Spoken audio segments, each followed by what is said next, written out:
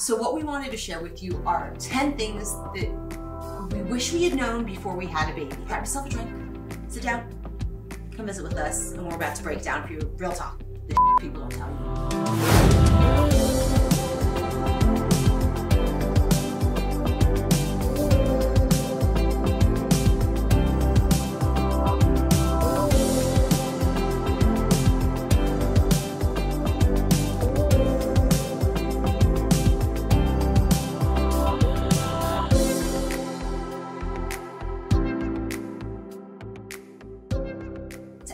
Toddler right now. That's a whole nother mess. We are talking about babyhood here, infancy. These are the first year. Yeah, these are the things that were so vital for us to know in that first year that we hope will be helpful for you. Start really early advocating for yourself and your family. And I'm not just talking to the moms, I'm also talking to dads. This is something where I've absolutely fell short. And we were fortunate that her best friend flew out and was with us right after Asher was born. And so thankfully, she is a mom and a rock star. And so Ravayna had someone who could advocate for her. And I am so grateful for that because I was a bumbling idiot. He was not. He was overwhelmed with love for his baby. And I was drugged up and in pain and I didn't know what to expect and what not to expect. But I did have a nurse who didn't do the greatest job with me. She was nervous and not paying great attention. And there was an incident where um, she, for all intents and purposes, tore my catheter out. Um, and I was really upset. And Erin was like, cool, she will not be in the store again. And she walked and spoke to the charge nurse and I never saw that nurse again. Even though it was an accident, it was incredibly traumatizing for me and would have been more so traumatizing had I continued to engage in the way I would have because I am a polite person. Like I wasn't going to complain or whine or yell. It just sucked. But I needed that piece for my own healing and I was so grateful that I didn't have to engage with her again um, after that. And that was a lesson to learn quick and hard that it is important to stand up for yourself and your family and what you need. I hope that you have no situations like that during your birthing time, but please know that at any point, if you are uncomfortable with your nursing staff, you can speak to a charge nurse and have them switched out, and that is really common in hospitals. And my friend Kate told me that when I was like 38 weeks. I was so glad to know. So, sharing that fact with you guys, for sure.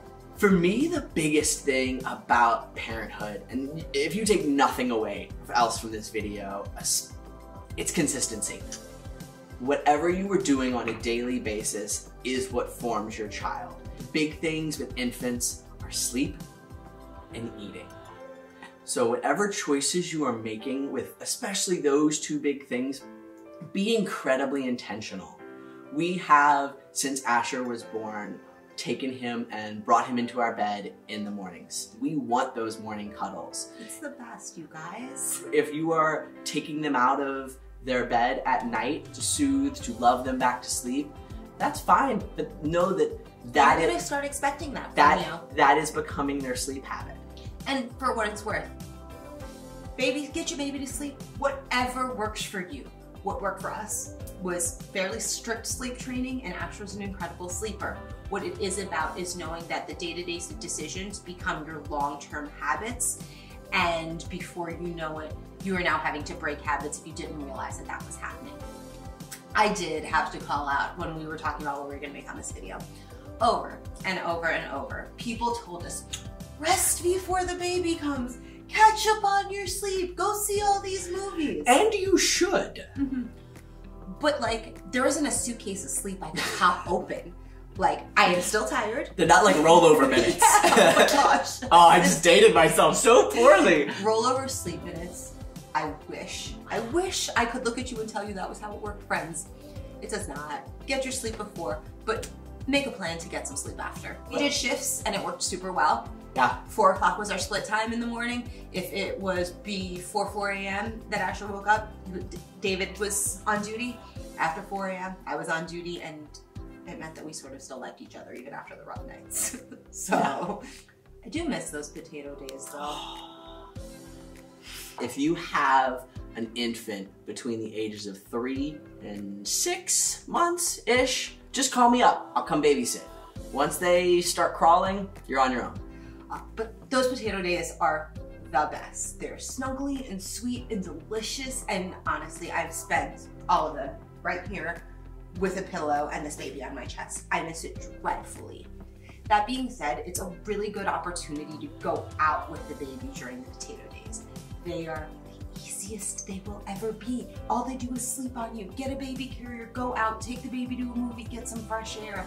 Now taking Asher places, well, when we can take him places, is a whole thing. And honestly, the earlier you get used to being out in public with your baby and momming on the go, the easier I thought it was Yeah. for me. And I like remember I remember coming home and like being really proud of myself that like we went on an adventure and I cried and I was okay and we made it and we survived and that we could do it again and it would just get easier and easier and it did. Uh, So,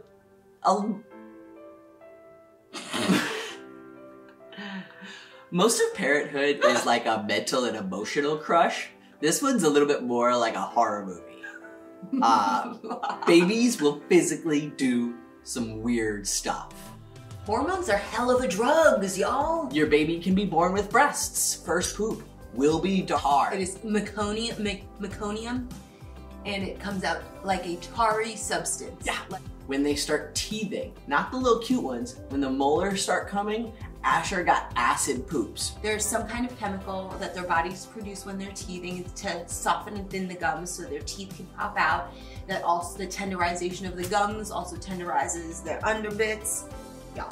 We found cornstarch was the best solution. Mhm. Uh, but yeah, babies have acid poops. Crazy. In general, there are just diaper surprises. Be prepared. If you have a little girl, she might get her period right after birth. Again, hormonal. And speaking of postpartum periods, sorry if this is TMI, you should get over it if it is. But people like mentioned that postpartum periods would be different than my cycle as pre-baby. Yeah, no. I mean, I'll be totally transparent. It's horrific. I get the world's most awful cramps now. Like I cramp to the point where I vomit from the pain every month, at least one night. Uh, It's it's it's been bad. It gets significantly worse when you stop breastfeeding. Yeah. Uh, suffice it to say that I'm talking with my gynecologist about it, and we're working on getting me on some treatments to help manage my cycles. But the hormone release trigger that happens can really change the way that your cycle functions. If so, do not be afraid of talking to your doctor about it because I'll be honest, I waited. Babies start teething. And at first, it's super cute. These two and these two were fine. As soon as it started creeping back, Motrin and Tylenol were our best friends. Maybe you will have a unicorn baby, but every parent I know, their baby struggles with teething. I I don't know. And we tried all of the things. Oh, we are have we're very. I have an herbalist friend, bless you, Sarah, who made me a tincture of nerve relaxing herbs. Yeah, that tincture was made in vodka. Yeah, I gave my baby drops of it. Yeah, do I think it worked? Yeah. But was I willing to try anything? I think it was more the vodka than the herbs. Whatever.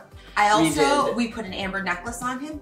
Science will tell you that there's no way those amber necklaces work because their bodies do not heat up enough to make them work. I noticed a difference in the drool. We thought it worked. We went for it. do what works for your family.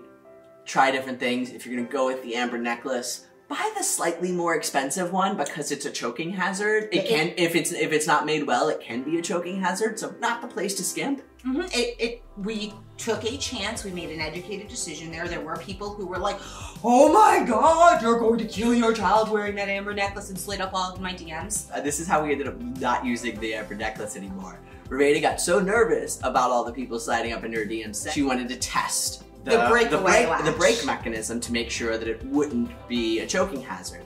And so she asked me to break it, and I did, and it broke properly so that it wouldn't be a choking hazard, so it was good. And then we realized that we were in a catch 22. The mechanism worked, but it was broken. but if we bought a new necklace, how would we know the mechanism would work? That's parenthood in a nutshell, y'all.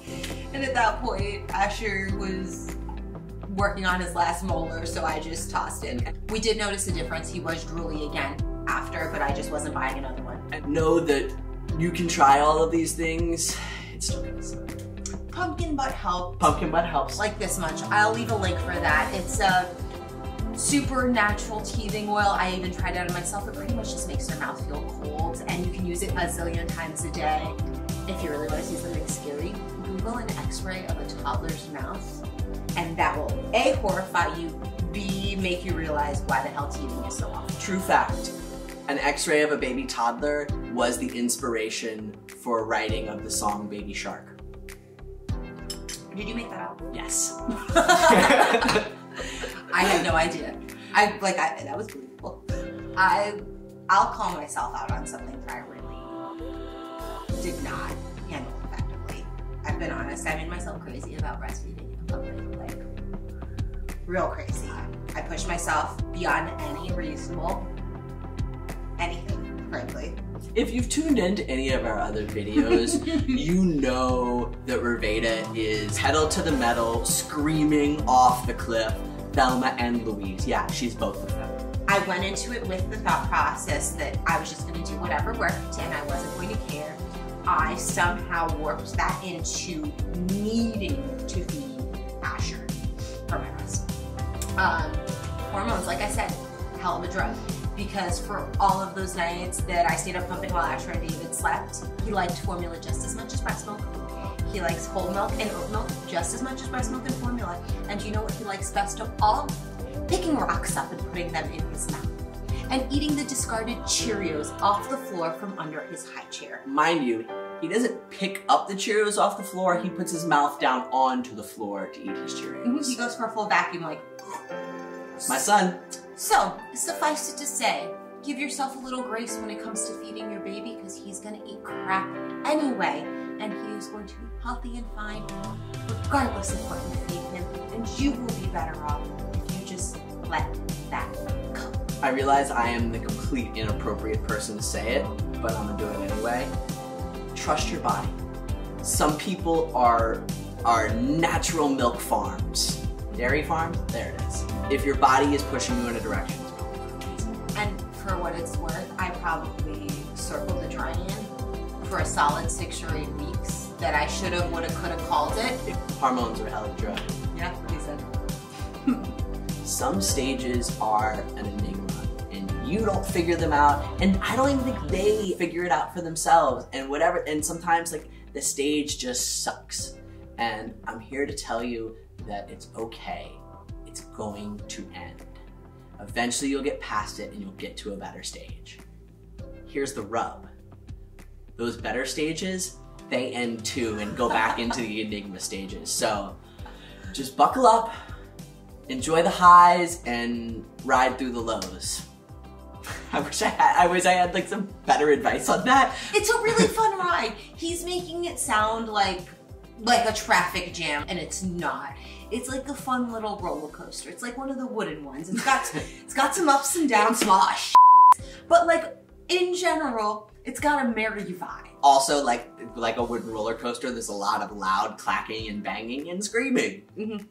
It's a really good. It's a really solid metaphor. It's better than I realized when I started with it. I'm kind of impressed by it. Me too. at some point, not at first, but at some point, probably after three or four months, I definitely forgot that I also had to be a good husband and I had to work on my relationship with my wife.